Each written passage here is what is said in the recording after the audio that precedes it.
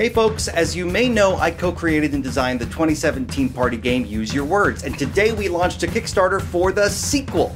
If you don't know, Use Your Words is a laugh out loud, pee your pants funny take on the Jackbox formula, and it's super fun. But I'm going to be real with you, when it comes to the sequel, we need your help and we need it fast. Because the modern Kickstarter algorithm promotes campaigns that hit their minimum goal early. So if we can hit our minimum goal in literally the first day or two, suddenly we'll be shown to more people on the Kickstarter website, and that'll give us a bigger budget and a better game. Now, if you're already sold on the idea of a Use Your Words sequel, just go to useyourwords2.com and help us out. Like, right now, if you can. For the rest of you, let me show you the Kickstarter pitch video. And if you're interested, go to useyourwords2.com and help us out. Um, now I'm going to go from me to other me. Hi, my name is Brent and I'm making the funniest party game of all time. Six years ago, I founded a game studio with my friend Julian Spillane, and our little dev team released a game called Use Your Words the party game for funny people and their unfunny friends. It's a couch co op game where you use your phone as an input device, similar to the Jackbox games, and our number one goal was to create a space for people to gather together and laugh until their beverages spewed out their noses. People love the game, and it's proven to be accessible to players of all ages and skill levels, but a lot of our grand plans and ideas for the first title didn't make it into the final product. Now, five years later, we want to finally make that more ambitious original vision a reality. So we're asking for your support to help us make Use Your Words 2, as in two times the minigames, two times the content, and two times the fun.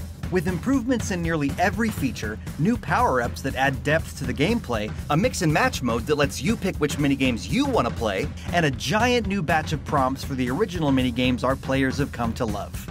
We've also got amazing artist Andrew Kolb on deck to give the game a beautiful vintage look. If we hit our initial funding goal, we'll be able to release the minimum viable product on Steam, which will take our list of four minigames and expand it up to nine. In Book It, we show you a random book cover and you come up with the title.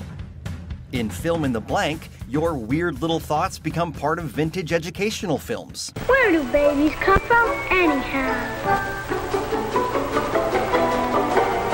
In letterheads, you get to decide what a set of initials actually stands for. In Sign Me Up, you can vandalize a blank sign with whatever you think it should or shouldn't say. And we've got a new lightning round called Out of the Question, where the stakes get progressively higher as you go along. And there will be three new power ups, which we call gizmos. Each player can use one gizmo per match to do things like cut another player's points in half for one round, challenge yourself to sniff out the house answer for a huge points bonus, and you know when you finish writing your answer and immediately wish you could go back and rewrite it with something better?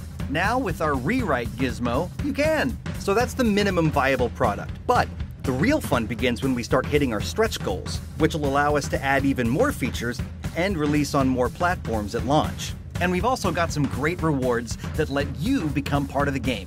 So please consider helping us make Use Your Words 2. Two times the minigames, two times the content, two times the fun. We really hope you'll be part of our journey as we create the funniest party game of all time. Thanks!